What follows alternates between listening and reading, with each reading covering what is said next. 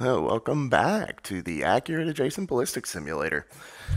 We're doing the survival map again, but this time we are not screwing around. We have brought today a semi automatic four bore. I know, right? That's a 9 millimeter. That's a 223. That's a friggin' four bore. These do exist in real life, but not a semi automatic version for reasons of ouch.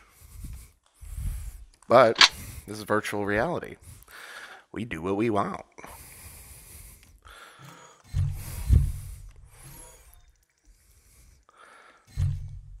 Tell you what, just for you, let's make the processor scream.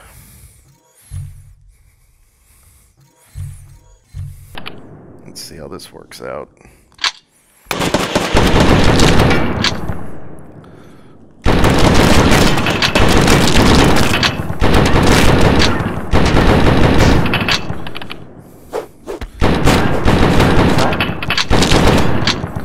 trying to cut my freaking feet off.